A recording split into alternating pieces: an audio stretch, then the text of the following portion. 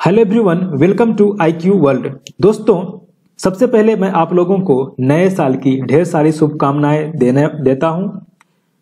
सुनहरे सपनों की झनकार लाएगा नव वर्ष, खुशियों के अनमोल उपहार लाएगा नव वर्ष, आपकी राहों में फूलों को बिखराएगा नव वर्ष, महकी हुई बहारों की खुशबू लाएगा नववर्ष हैप्पी न्यू ईयर 2022 दोस्तों यहाँ पर आप एक न्यूज़ देख रहे हैं। बिहार सरकार सामान्य प्रशासन विभाग के तरफ़ से यहाँ पर बिहार कर्मचारी चयन आयोग के लिए एक यहाँ पर आदेश निकाला गया है। आप लोगों को जानना बेहद ज़रूरी है, क्योंकि दोस्तों, कोई भी अगर अपडेट, कोई भी न्यूज़ आता है तो आपको जानना बेहद ज़रूरी रहता है बीएसएससी के रिगार्डिंग यहाँ पर बीएसएससी के काउंसिलिंग के रिगार्डिंग ये यहाँ पर न्यूज़ आया है। देखिए, दिनांक एक एक दो हज़ार बाईस का ये आदेश है। इसमें क्या कहा गया हम लोग अच्छे समझने का प्रयास करते हैं। देखिए, ये संख्या दिया हुआ है लेटर का, ठीक है? विभागीय आदेश संख्या चौदह हज़ार चार सौ सतासी दिनांक तीन बारह दो हज़ार इक्कीस। आदेश संख्या सोलह हज़ार तीन सौ बावन, दिनांक तेईस बारह दो हज़ार इक्कीस। एवं आदेश संख्या सोलह हज़ार चार सौ तिरपन, दिनांक चौबीस बारह दो हज़ार इक्कीस के द्वारा प्रथम इंटर स्तरीय संयुक्त मुख्य प्रतियोगिता परीक्षा 2014 के अभ्यर्थियों के काउंसिलिंग कार्य करने के लिए बिहार कर्मचारी चयन आयोग, पटना के कार्यालय में प्रतिनियुक्त बिहार प्रशासनिक सेवा, यानी कि बी के सभी छह पदाधिकारियों की प्रतिनियुक्ति अवधि दिनांक सात एक दो हज़ार बाईस तक बढ़ाई जाती है। ठीक है, यही नोटिस था दोस्तों।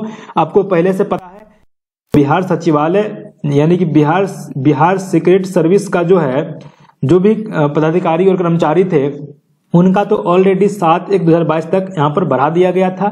लेकिन जो बिहार प्रशासनिक सेवा के कर्मचारी सॉरी पदाधिकारी हैं, उनका भी प्रतिनियुक्ति जो है, सो सात एक दो हज़ार बाईस तक यहाँ पर बढ़ा दिया गया है। तो दोस्तों, यहाँ पर काफ़ी खुशखबरी है आप लोगों के लिए। अगर आप लोग नया साल में चाहते हैं कि आप लोगों को जल्दी से जल्दी जॉब मिल जाए, अगर आप काउंसलिंग करवा चुके हैं और चाहते हैं कि आपका प्रतिनियुक्ति जल्दी जल्दी हो जाए तो आपके लिए ये खुशखबरी है। क्योंकि दोस्तों, ग्यारह ग्यारह एक ग्यारह एक दो हज़ार बाईस को कोर्ट में सुनवाई है, न्यू एनसीएल के मामले को लेकर के। तो दोस्तों, उससे पहले 11 एक से पहले बिहार कर्मचारी चयन आयोग जो है, वो चाहती है कि उनके जितने भी पेंडिंग काम है, जितने भी काम है, वो पूरा कर लिया जाए।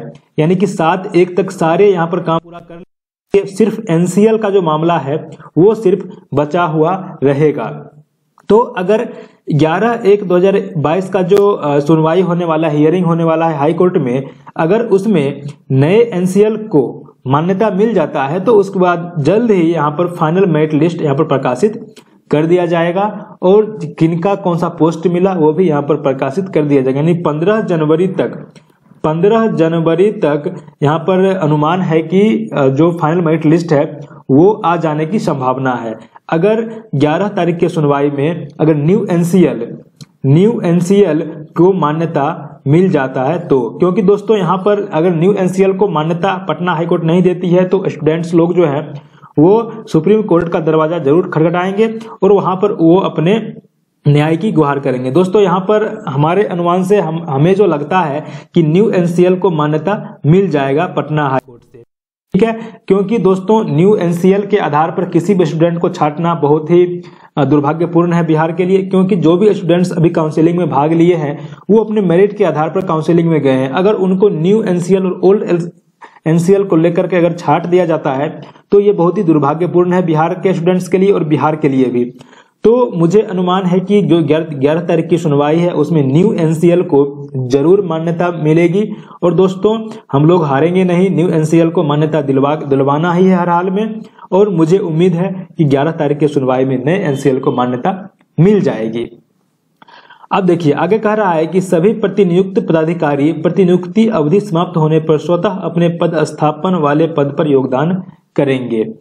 ठीक है? अब देखिए, अब ये कहाँ कहाँ भेजा गया है? देखिए, प्रतिलिपि अपर मुख्य सचिव, प्रधान सचिव सचिव संबंधित विभाग, बिहार, पटना, सचिव, बिहार कर्मचारी चयन आयोग, पटना, मुख्य सचिव के आप्त सचिव, बिहार, पटना, सचिव के आप्त सचिव, सामान्य प्रशासन विभाग, बिहार, पटना, प्रबंध आईटी सामान्य प्रशासन विभाग बिहार पटना को विभागीय वेबसाइट पर अपलोड करने हेतु संबंधित अधिकारी को सूचना एवं आवश्यक कार्रवाई हेतु प्रेषित किया गया है। देखिए बिहार सरकार के अवर सचिव एक एक दो हज़ार बाईस।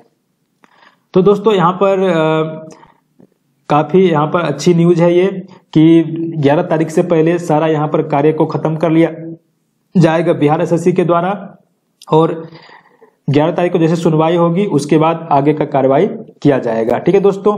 तो यही न्यूज़ था। उम्मीद करता हूँ कि आप लोगों को वीडियो पसंद आया है। दोस्तों, अगर वीडियो पसंद आया है तो चैनल को सब्सक्राइब कर लीजिए। ज़रूर अगर हमारे चैनल पर नए हैं तो सब्सक्राइब कर लीजिए और वीडियो को ज़रूर शेयर कर दीजिएगा। ठीक है? लाइक तो करना ही है। आप लोग लाइक नहीं करते हैं वीडियो को, मुझे बहुत दुख होता है। क्योंकि मैं दोस्तों, आपके लिए दिन भर बी एस के साइट, यानी जितने भी साइट हैं, सारे को चेक करता रहता हूँ। ठीक है? और आप लोग एक लाइक तक नहीं करते हैं। ज़रूर लाइक कीजिएगा, वीडियो को शेयर कीजिए। सब्सक्राइब कर लीजिएगा। बब bye take care best of luck